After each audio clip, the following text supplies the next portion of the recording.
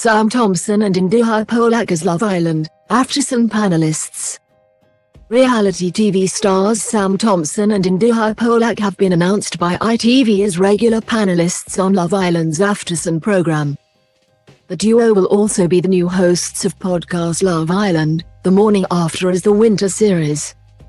Set in South Africa, returns for the first time since the coronavirus pandemic. Thompson and Polack will interview the South African villa's residents and also give insight into the latest couplings. Dumpings and bombshell antics, ITV said.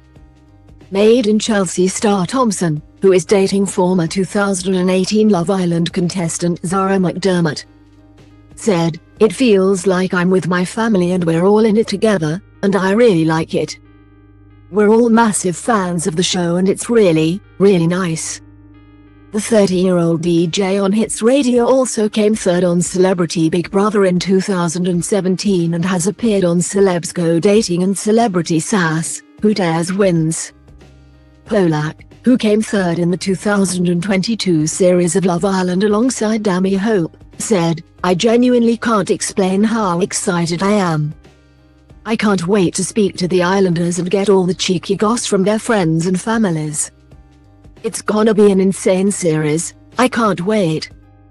The pair will join new Love Island host, TV and radio presenter Maya Jama, in London every Sunday night to live for Love Island, Aftersun to dive into the latest goings-on in the villa.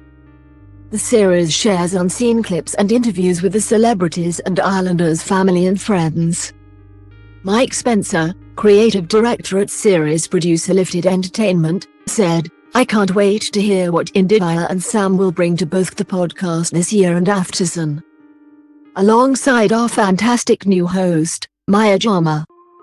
Sam and Indiyah have passion for the show, natural chemistry and all the chat.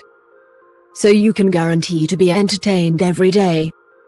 Jama, 28, has taken over as host from Laura Whitmore, 37, who announced in August that she was stepping down. She will also host the usual summer edition in Mallorca later in the year. For the first time, contestants this series will have to disable their social media accounts during their time on the show in a bid to protect both them and their families from online abuse.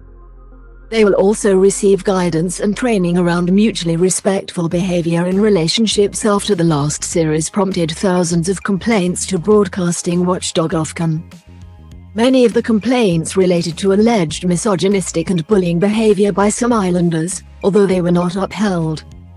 These are in addition to other duty of care measures introduced for previous series.